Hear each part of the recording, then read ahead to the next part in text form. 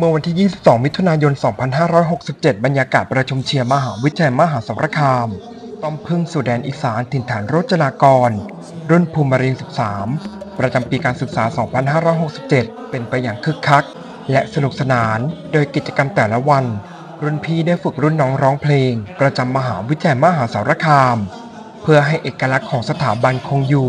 สืบทอดประเพณีดีงามจากรุ่นสู่รุ่น ตลอดจนร่วมกิจกรรมนันทนาการ เข้าใจในอัตลักษณ์ความเป็นอีสาน การแนะนำตัวเพื่อความรู้จักซึ่งกันและกัน เน้นในเรื่องของความรักความสามัคคี ระหว่างรุ่นพี่ รุ่นน้อง และน้องร่วมรุ่น ต่างคณะต่างสาขา ให้ทำความรู้จักกัน เพื่อในอนาคตจะได้เอื้อเฟื้อเกื้อหนุนกัน หรือพึ่งพากันได้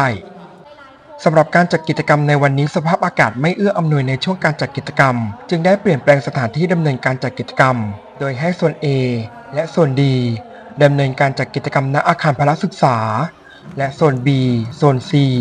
ดำเนินการจัดกิจกรรมณอาคารศูนย์กีฬาและนันทนาการ เพื่อความปลอดภัยของนิสิตและบุคลากรทุกคน แม้ว่าจะมีการเปลี่ยนแปลงสถานที่แต่กิจกรรมยังคงอบอุ่น สนุกและน่าสนใจ รุ่นพี่กับรุ่นน้องร่วมกิจกรรมนันทนาการสอดแทรกความรู้ พี่พาน้องร้องเพลงมาร์ชมหาวิทยาลัยมหาสารคาม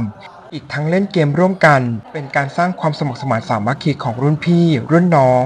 ซึ่งกิจกรรมประชุมเชียร์จัดขึ้นระหว่างวันที่ 21 ถึง 23 มิถุนายน 2567 เวลา 16 นาฬิกาถึง 20 นาฬิกาณบริเวณมหาวิทยาลัยมหาสารคาม